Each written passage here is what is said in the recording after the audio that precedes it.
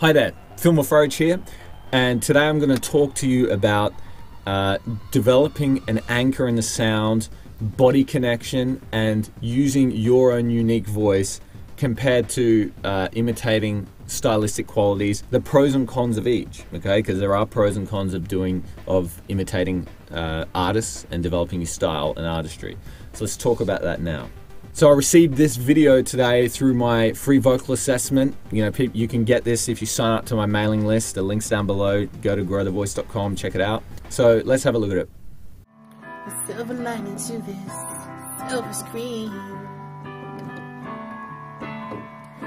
a fire to the fire of ski. Mm, cold shower 1968. Now, first of all, I notice you're a big guy and you got this really thin voice coming out. It's not your voice. I can tell right right away that's not your voice. Now, I know from listening to you that one of your big influences is Michael Jackson because I, Michael Jackson's a huge influence on me.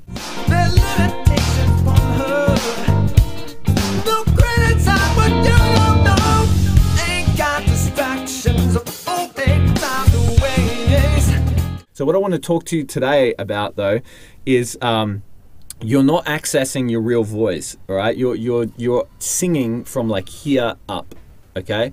And what it is is it's not a very healthy way to sing long term, okay? Lots of people will say things like, "Oh, you know, if it's lighter, then it's safer." And you know, singing loud is dangerous and things. It's not true.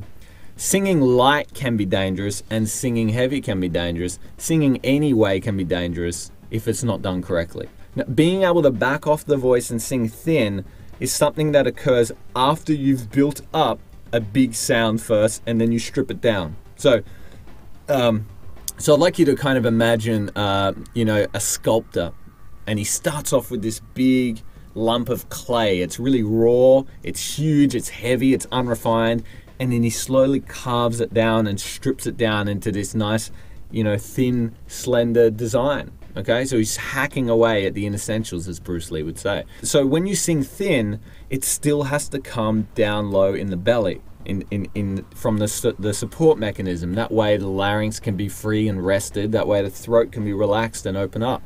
The best way to develop that is to start off with a bigger sound because the sensation of support and the pull against the larynx, it, it, what I call like an anchor, is more, the sensation is more pronounced, it's easier to feel it, and it needs that kind of resistance to develop it. So I'm going to show you the O vowel and why it's so important. The O vowel is a deep vowel that taps right down into your stomach, okay? Really low. And I use this vowel to develop support and body connection. Okay, I call it body connection because you want to sing with your whole body because your whole body is the instrument. You don't just want to sing with your throat, okay, or you sing right up here, and that's what you're currently doing. So you want to learn how to breathe properly. Then you got to learn how to support properly and create tension. And then here's an vowel. This is what I get people to do. We don't start too low with this. We do this more in the upper middle part of the chest range where you can feel a pull in the voice. I don't mean a pull in an unhealthy way. I mean a pull that starts down in the belly and it goes kind of like this. So what I do is I bend down and I go, exhale, oh.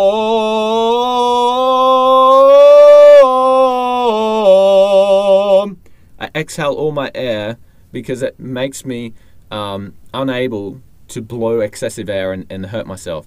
It also taps me into a more pronounced sensation of support. So I'm going to take it up.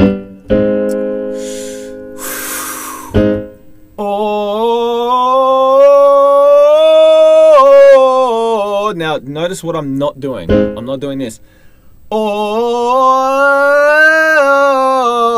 most people who haven't learned how to sing down low will start doing that. They'll start going, oh, because what happens is they don't like the feeling of going down low or they just can't do it. And so they look for space horizontally. And I want you to not do that. Okay? So you're going to go like this even if you have to do this. Oh, and you just go as high as you can before it strains. You just come back down. Exhale.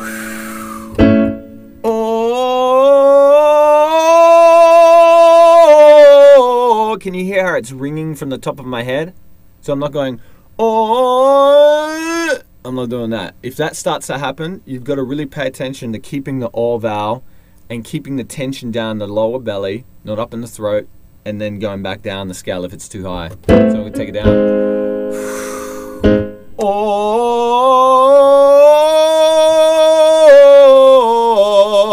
Another one you can do if you find the odd a bit too difficult because you feel like you're blowing air or something, even if you're exhaling, you can put an N in front of it like this.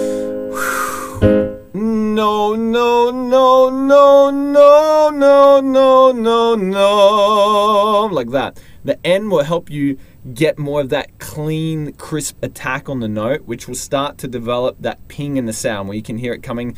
No, you can hear it ringing from my head, my skull. That's what the N will help you develop. It'll help you develop good cord closure and resonance. So that's kind of like an exercise I take singers through who who would tend to be singing up here like this to develop body connection. And then what you do, then what you need to do there is learn how to take your other vowels and tap into that oh feeling in the vowel. So let's take an E. So an E, I would go E. And if you check out my other video on singing E and U, I'll put it up here, you'll notice in that video I was smiling and going E to L like this.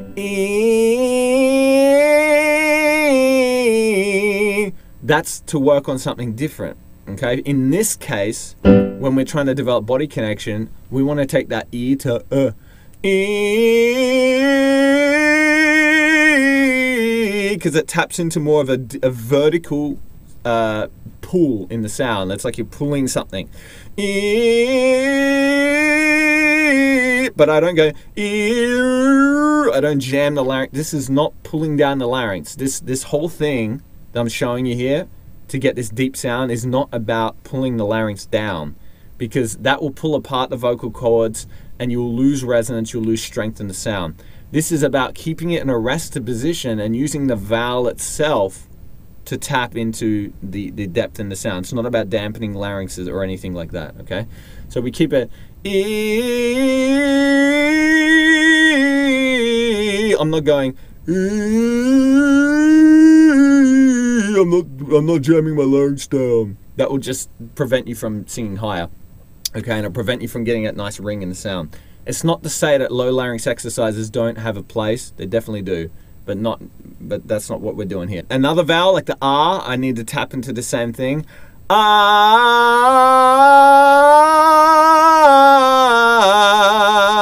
I know this sounds really operatic, but it's a phase. Okay, you need to work a phase of developing body connection. Then later on, you can brighten it. Ah, oh,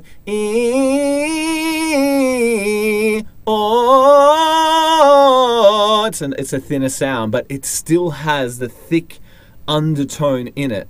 Okay, chiaroscuro. You take this nice, bright, ringing sound and then, and then have depth and warmth in it. Okay, it's a combination, yin and yang, bright, dark, uh, thin, heavy, uh, tall, deep. You know, you know what I'm saying. So we're looking for these kind of qualities, and that's what gives us a rich kind of quality to our voice, rather than a very trebly and a really woofy. We want to combine both and find a balance. Now, I want to mention style. I really like that you are, you know, imitating and learning and picking up traits from your favorite artists. However, at this point, what's happened is that it's affecting your voice in a negative way. So, I'm not a vocal coach that you know, just says never, you know, never imitate or whatever. I think there is excellent lessons to learn from imitating, but we also have to uh, explore our own voice at the same time so that we don't develop imbalances. Because at the moment, you do have an imbalance. So, um, you know, so if you'd like to know more about uh, imitating singers and styles, I think I've got a few videos on that. I'll see if I can link them up here. If I don't, you won't see a link, and uh, maybe I'll just have to create one just you know if you're interested just leave a comment down below and uh, if you want me to explore that uh, i hope this video helps you there's you know learning all this stuff individual to your voice requires step by step training, either lessons with me or my singing program details how to build up all these qualities step by step in a very easy to understand um, uh, structure. I hope you found this video insightful and helpful in some way. Leave your comments, questions down below. I'll respond to them, I'll read them. So, thank you for watching. Take care and good singing to you. See you next time.